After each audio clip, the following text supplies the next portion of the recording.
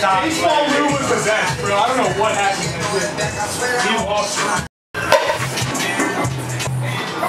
He lost.